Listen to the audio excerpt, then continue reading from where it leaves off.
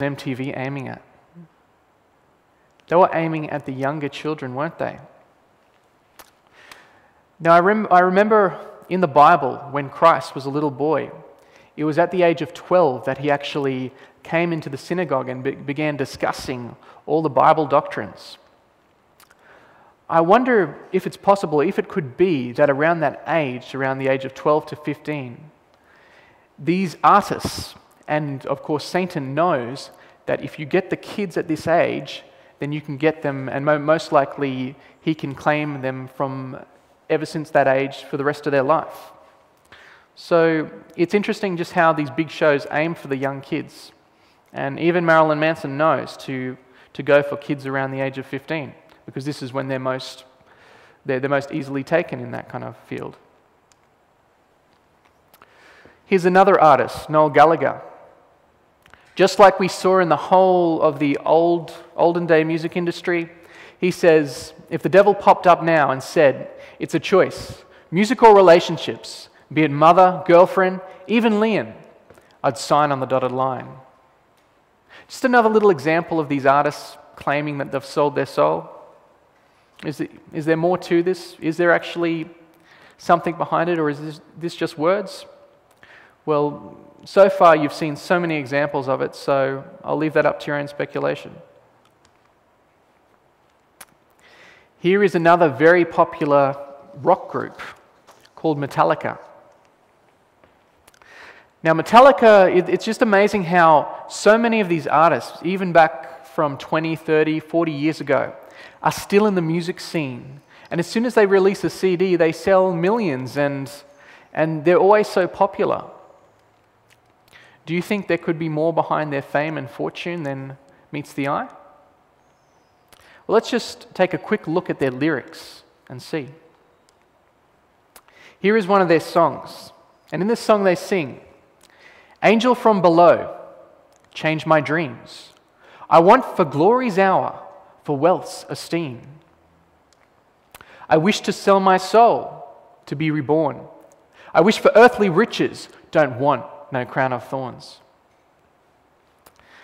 Now, you can tell from these artists that they know Scripture to some extent, and they know what they're doing. And all I can, I, I actually feel for these people because here he says he doesn't want no crown of thorns, and, and they don't realize on that day of judgment, when God comes, how much they're going to regret saying this. Whether they just say it for, for just popularity's sake, or if they're actually into occult and, and spiritualistic kind of stuff or if they're just saying it for no reason at all. But the thing is, on that day of judgment, they're going to regret saying these things. Here's some more lyrics I don't care for heaven, so don't you look for me to cry, and I will burn in hell from the day I die. You have to feel sorry for them. Anyway, we're going to focus on a few mainstream artists, some really big names that have come through the music industry recently. One of these people is Carlos Santana, and I'm sure everyone here has heard of him and, and maybe even heard some of his music before. Carlos Santana has an interesting story as well. You see, Carlos was a famous music, musician back in the days, back in the 70s and 60s and stuff like that. And he disappeared for a while. Then suddenly, in the last five or six years, he just pops back up out of the scene. And the, the first album that he releases again is one of the biggest albums of all time, and it was winner of Album of the Year at the 42nd Grammy Awards. And it just makes you wonder why do these artists just, the, especially these artists back from the old days, just keep on popping up and keep on making it successful? That's why we, we need to look deep into some of these people's lives and just have a better look. Now, here, here's just something interesting that I just thought I'd add in. Here's, um, uh, here's the name Santa Claus. And if you, you look at the translation of Santa, it's basically a scrambling of Satan. And then if you look at the name Claus, it's actually the Old English word for hoof claw, aka, other words, a split hoof or a goat. So, really, subtly in there, it's Satan the goat. Now, I'm not dissing Christmas here or anything, but I'm just using this example to show you the same thing with Carlos Santana's name. Here is um, the translation for his name. If you look at his first name there, Carlos, it actually means strong. And then Santana, if you, you just have a look there, you can see the name Satan hidden in there. So, is there a message there that's trying to be subtly given? Maybe who he's really, his, his allegiance is really to? I'll leave that up to your speculation. But Carlos Santana made it successful once again. And here he actually goes on to tell us how about, how about he became successful again. He says, I know it sounds new age, but in my meditation, this entity, which is called Metatron, he said, We want to hook you back to the radio airwave frequencies. We want you to reach junior high schools and universities.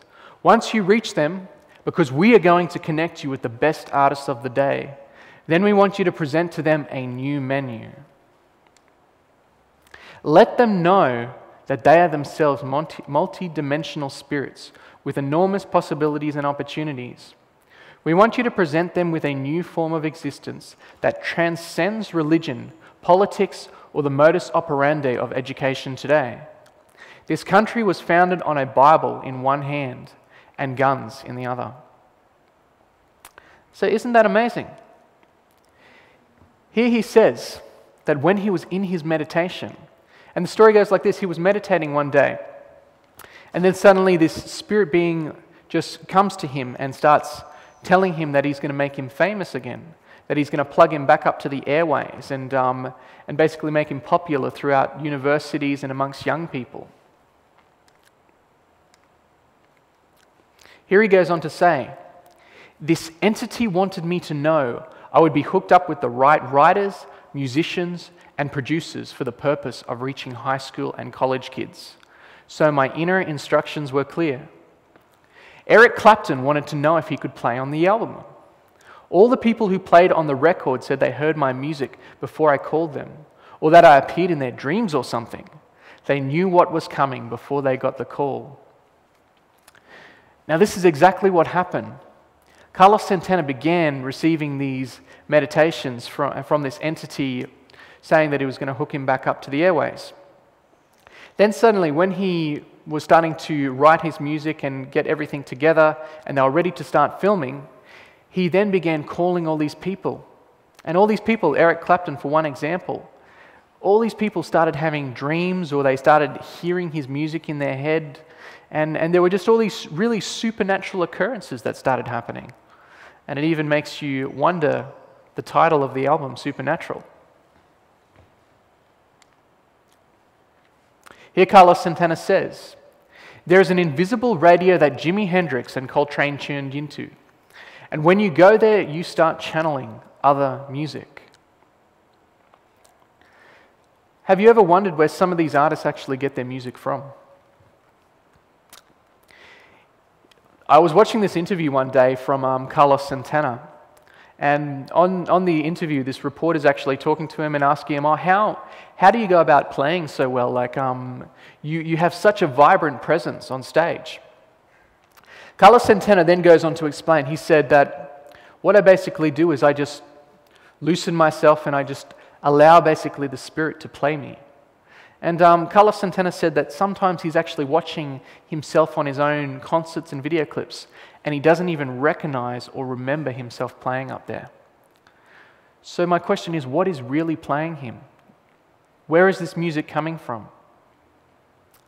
Does music like this, even music that has a really light influence, it's not, doesn't seem like it's too corrupt or anything like that, is there some kind of secret message that is going in the background that is trying to be preached to everyone?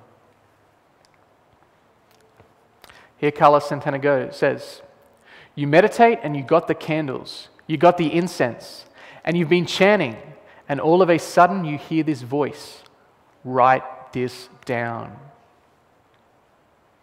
Who do you think that voice is?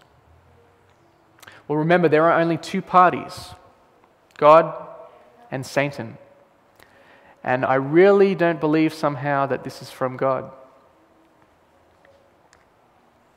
Carlos Santana says, When I let the Spirit play me, it's an intense delight.